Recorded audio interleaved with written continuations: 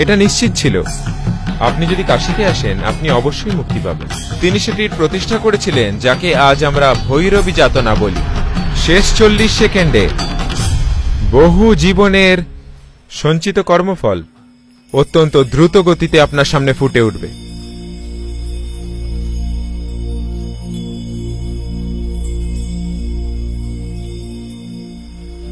কাল ভৈরব মানে তিনি যিনি অন্ধকার।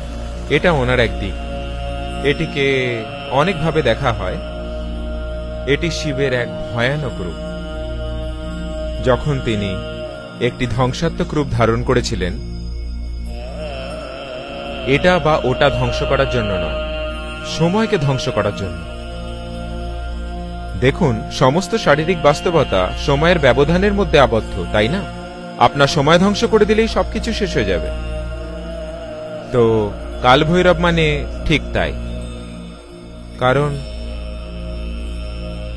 বেশিরভাগ মানুষ ভালোভাবে বাঁচার উপায় বেছে নেন না।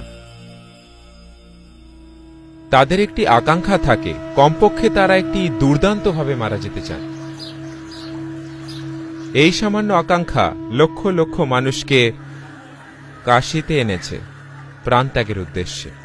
সুতরাং মানুষেরা তাদের জীবনের শেষ পর্বটিতে এখানে আসেন। তারা গৌরবময়ভাবে বাঁচেননি। তাই তাদের স্বপ্ন থাকে অন্তত দারুণভাবে মারা যাওয়ার। আশা। দারুণভাবে মারা যাওয়ার অর্থ শুধুমাত্র মৃত্যুর পরেই দেহ শেষ হয়ে যাওয়া নয়, এর অর্থ হল এমন মৃত্যু যা আপনাকে আপনার চূড়ান্ত মুক্তির দিকে নিয়ে যায়। এটা নিশ্চিত ছিল যে আপনি কাশিতে এলে আপনি মুক্তি পাবেন। যায় আসে না। সারা জীবন কি ধরনের নিকৃষ্ট প্রাণী আপনি ছিলেন? তাই সব নিকৃষ্ট প্রাণীরা আসতে লাগল কারণ তারা খারাপভাবে জীবন কাটিয়েছেন এবং তারা দারুণভাবে মারা যেতে চান। শুধুমাত্র এই নিকৃষ্ট মানুষদের সংখ্যা বাড়তেই থাকল। তখন শিব বললেন যে, এই জায়গাটি ক্রমেই নিকৃষ্ট হয়ে চলেছে। এত নিকৃষ্ট মানুষদের জন্য এই জায়গাটি ক্রমে হয়ে উঠবে নিকৃষ্ট। তাই তিনি বললেন, এতে বাধা দেওয়ার প্রয়োজন?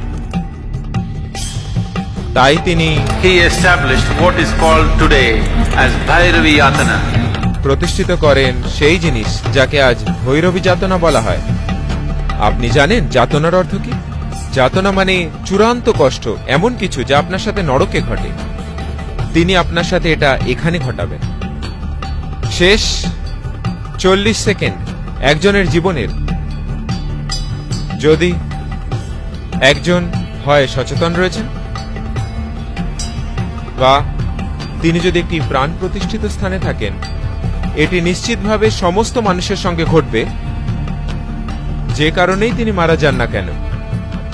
সে, তিনি বার্ধক্যের কারণে মারা যাচ্ছেন, বা রোগের কারণে, বা দুর্ঘটনায়, বা হত্যা, বা আত্মহত্যা। শেষ চল্লিশ সেকেন্ড অনেক জীবনকালের জমে থাকা কর্মফল চোখের সামনে দ্রুত গতিতে ভেসে উঠবে।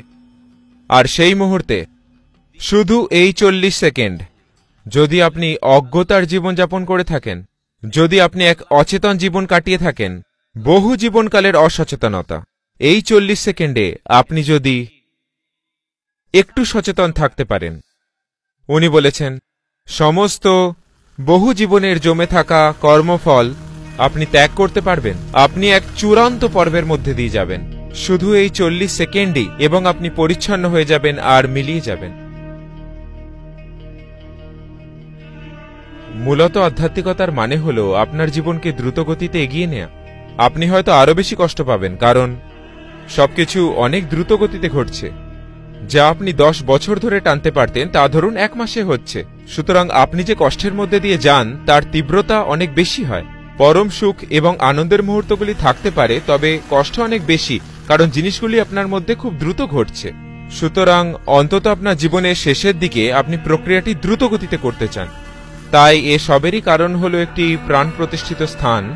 প্রাণ প্রতিষ্ঠিত স্থানের অর্থ একদিক থেকে দেখতে গেলে শুধুই ঘনীভূত জীবন। এর মানে সেখানে প্রাণশক্তির ঘনতা এতটাই যে কর্ম খুবই দ্রুত গতিতে জ্বলে পুড়ে শেষ হয়ে যায়। কিছু সময় পর একবার অভ্যস্ত হয়ে গেলে আর যাতনা থাকে না, শুধুই জলেই। এমনি, অর্থাৎ আপনি দ্রুত জ্বলছেন। সুতরাং সব প্রাণ প্রতিষ্ঠিত স্থানের এটাই উদ্দেশ্য। কাশি এত গুরুত্বপূর্ণ তার কারণ, তার বিশালতার কারণে, তারা যেভাবে এটি নির্মাণ করেছিলেন, তার ঐশ্বর্য, তার সৌন্দর্যের কারণে। সেই সময় তারা বলতেন যে কাশির মতো সুন্দর শহর সারা পৃথিবীতে কোথাও আর ছিল না।